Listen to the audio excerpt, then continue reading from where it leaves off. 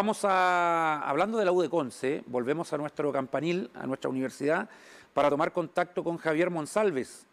Ya eh, Javier Monsalves está con nosotros para contarnos de un proyecto de plaza en honor a una figura del pasado, pero que fue muy importante en su momento, en un momento también importante de la historia de Chile.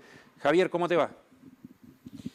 Bien, bien, Francisco. Mira, en este lugar voy a salir del cuadro. Bueno, cuando comienza a llover copiosamente, justo antes del despacho no llovía nada, ahora se pone a llover copiosamente.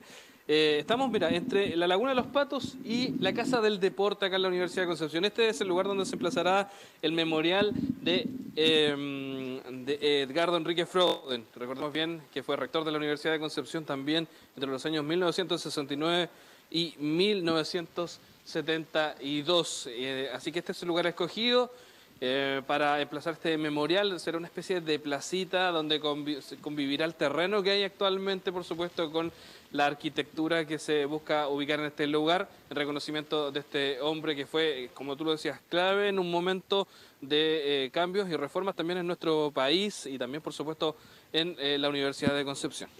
Javier, estamos viendo la, maqueta, se ve eh, se ve bastante llamativa. Eh, eh, va a ser un aporte a el campus de la UDEC que está lleno de historia, que tiene rincones, patrimonios, y, me parece importante porque para, para aquellos que conocen el legado o la historia de Edgardo Enríquez, quizás es un homenaje que llega harto tarde, pero hay que entender que la historia reciente del país se ha ido eh, interpretando año a año, ya hay un paradigma un poco distinto, hay cuestiones que, que quizás hace 20, 30 años atrás, cuando recién estábamos volviendo a la democracia, er, eran temas delicados, o había personajes de la política chilena que ah, para algunos sectores no, era conveniente recordar, y acá em, eh, destaca la figura de, de Edgardo Enríquez, que fue rector de la universidad, ministro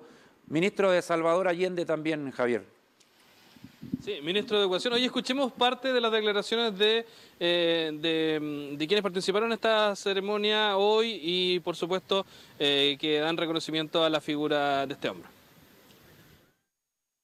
Un trabajo, una idea que empezó ya hace más de cinco o seis años atrás de, de, Centro Cultural de poder relevar, digamos, la figura de un rector que entregó su muchas muchas ideas y mucho trabajo a la comunidad universitaria y también a la comunidad social. Él, tuvo muchos cargos dentro de la comuna de Concepción.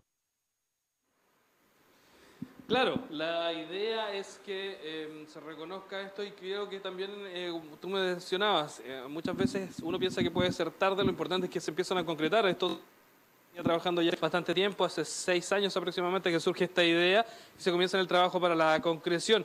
Eh, escuchemos, por supuesto, la declaración también del rector Carlos Saavedra respecto a esta iniciativa y lo que se busca emplazar en este lugar. Vivió una etapa de transición en el sistema universitario chileno, fue uno de los pilares en la construcción del proceso de reforma universitaria y que le correspondió ser el primer rector elegido con participación de toda la comunidad de la Universidad de, Concepción y por supuesto las múltiples tareas y funciones públicas que, asumió eh, tanto a nivel local, regional como nacional. Claro, tareas importantísimas no solamente acá en nuestra zona, sino que también, por supuesto, a nivel nacional, como lo mencionamos antes. Se va a emplazar este lugar que claramente va con, convivir, va a ser armonioso con el entorno, no se va a tener una gran intervención, pero sí eh, claramente va a ser un lugar importante y que armoniza también parte del campus de la Universidad de Concepción. Sí, padre de Miguel Enríquez, también el líder del MIR, Edgardo Enríquez Froden. Eh, Javier, te dejamos, muchas gracias por tu despacho, se ha puesto a llover, así que eh, nos volvemos a encontrar en el Noticiero Central con tu nota. Sí, por supuesto, no, pero nuestro director me tiene un cafecito ahí después ya listo cuando termine esta edición, así que está, está comprometido ya. dice dos, dice. Ya.